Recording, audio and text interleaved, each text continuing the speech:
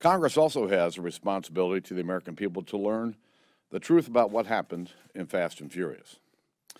On February the 4th, uh, 2011, the Department of Justice denied allegations that it allowed guns to be smuggled uh, into, the, into Mexico.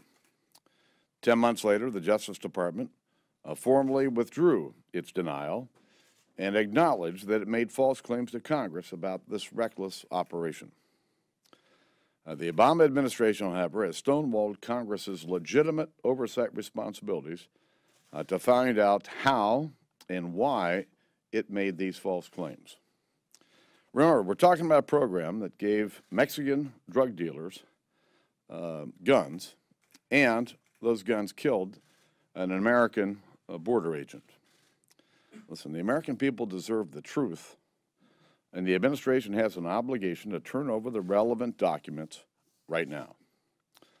The decision to invoke executive privilege is an admission the White House officials were involved in decisions that misled the Congress and have covered up the truth. So what is the Obama administration hiding in Fast and Furious?